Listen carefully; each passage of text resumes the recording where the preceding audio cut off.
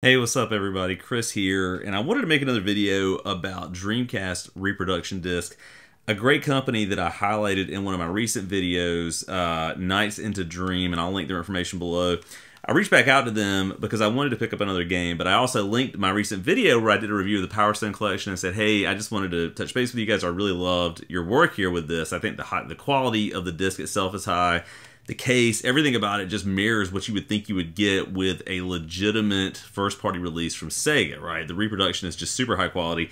Um, and they contacted me and said, "Yeah, you know that's that's great. I really appreciate the review." And he said, "In fact, you know, if you want to pick up another game and you've got an interest in one, on top of that, I'll be happy to kind of float it your way, just so you can take a look at it, talk about it, that kind of stuff." So, what I did was I picked up Alien versus Predator Aftermath, which is a, a cool beat 'em up game. I'll talk about the game itself in a second. But because I love fighting games, I said, hey, if you guys, you know, are able to send me a copy of the Capcom Fighting Collection, I would love to have that. And they did that here. And so, full transparency, this was a free contribution to my gaming habits, so to speak. And so, I wanted to just kind of talk about this also uh, as sort of a thing here. And so, with this Capcom Fighting Collection, you get Super Street Fighter 2, you get Super Street Fighter 2 Turbo, you get Third Strike, Marvel vs. Capcom 2, and Capcom vs. SNK 2. So a lot of really great Dreamcast era fighting games on one disc. It's super cool. I actually have a version of MVC2 from another re reproduction uh, person who does that sort of thing.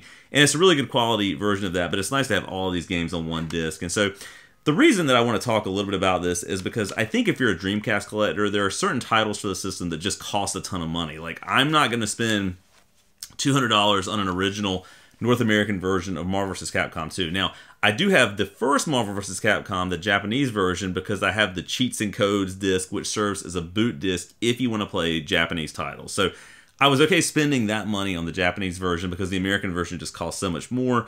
But if you want these North American discs and your goal really is to have the game in a high quality uh, iteration and you want to play it on the original hardware, I really recommend checking out different reproduction options, right? It's a super cool thing. Now, you know, okay, so for Alien versus Predator Aftermath, it's an interesting beat 'em up in that when you boot it up, it feels a little bit like a computer game to start out with, just sort of the, the quality of the boot screen and everything you get there you get into the game itself, and it's kind of like a Streets of Rage clone type of game where you're playing typically as the Predator. Though the, there are some other characters you can jump into the game as, um, and then you sort of go forward from there. Now, I will say that the game itself is extraordinarily difficult. Like it's really hard. I don't know that it's a title that I'm ever going to play all the way through and actually completely finish and beat.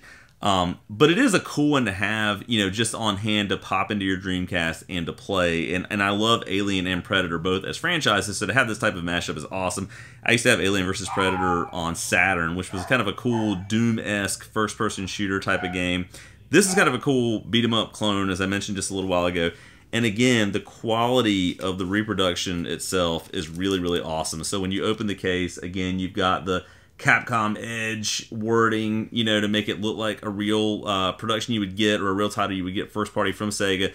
Again, the quality of the disc itself, you can see it's just really well printed, really easy to see. Uh, even the information on the back, just sort of the detail you get there, it's just really great. So if you like beat 'em ups, I think this is a cool one to have in your collection. Now, again, as a game itself, it's so punishing. I think you're just being swarmed by aliens all the time and all you can really do is spam certain punch and kick and attack types of buttons that it gets to be a little bit much. I think the mechanics of the game itself could be a little bit better. That's nothing to do with, you know, Nights into Dream, and, and because they're not making the game, they're giving you a high quality reproduction of it. But as a game, I think it's okay. But if you like beat 'em ups, you like Alien versus Predator, and you want to have just this in your collection, you could do a lot worse than getting it in this iteration. So really high quality, really nice to see it this is super awesome. Um, I love fighting games. You know, I've, I've, talked about that on the channel before. In fact, I'm playing Tekken 8 right now.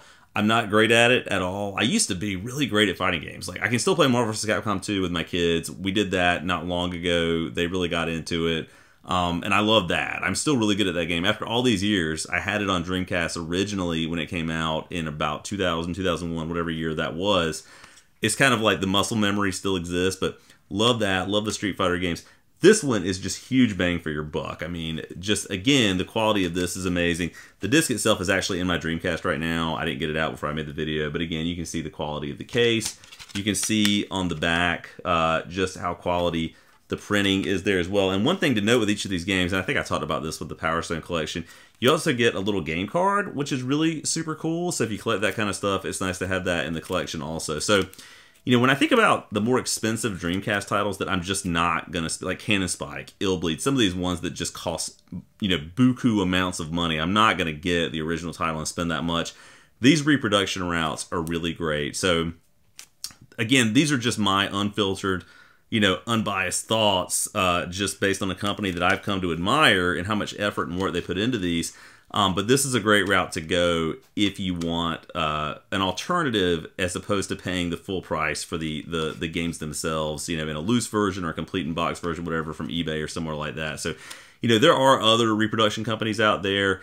Um, Phoenix Down Gaming's another good one. If you ever get onto Etsy, that's where I got my other version of Marvel vs. Capcom 2. But uh, Nights into Dream, really good stuff here. This is a great, especially if you're a fighting fan, a great one to have in your collection. Definitely recommend checking them out. But anyway, if you've got some good reproductions that you sort of lean on and really uh, enjoy and appreciate, let me know about that down in the comments below. Thanks so much for watching, and I'll check back in soon.